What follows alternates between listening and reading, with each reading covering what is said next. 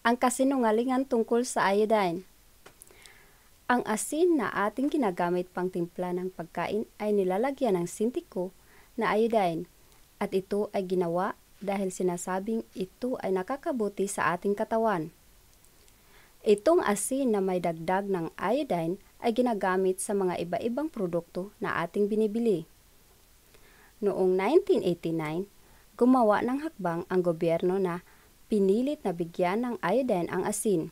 Kaya hanggang ngayon, kayo ay kumakain ng mga produktong merong iodine. Kung sobra na ang iodine, ito ay magiging mag-iipikto, tutubo ang acne, susobra ang pagtatakbo ng thyroid glands, hika, nakakaapekto sa takbo ng puso, nakakaapekto sa pagtulog, hindi mapakali, depresyon, kumakalog na mga paa, impotensya, at marami pang mga alerhiya. Ang mga resulta ng estudyo ay nagsasabing ang iodine ay tumutulong na nagdi-dissolve ng mga buto-buto, kaya ito ay masama para sa mga sanggol lalo na ang mga sanggol na nasa sinapupunan pa ng ina. At ito ay tumutulong ng epekto ng kanser.